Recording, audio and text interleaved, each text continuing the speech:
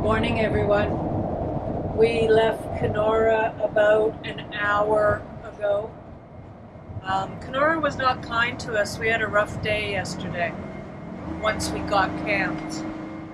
Uh, Chuck was losing at every single game that he played, and then at dinner time, he squirted mayonnaise all over himself instead of his hamburger. I think he was most disappointed in that. Yes, very much so. Uh, heading out of the campsite this morning.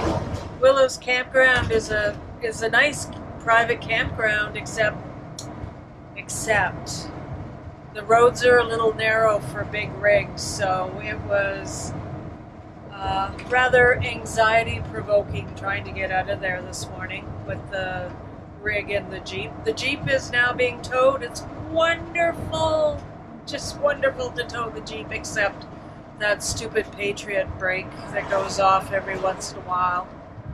And we have one hell of a time setting it up. It's uh, exercise in patience. We are about, what would you say, six kilometers I would say so, yeah. from the Manitoba border, which will mean that we have officially driven six out of seven provinces, and we're going into our seventh. Six out of seven. Six out of ten. Ah! I don't know how to count.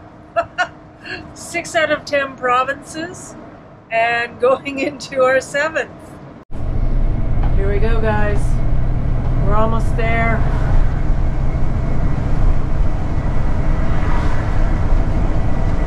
One,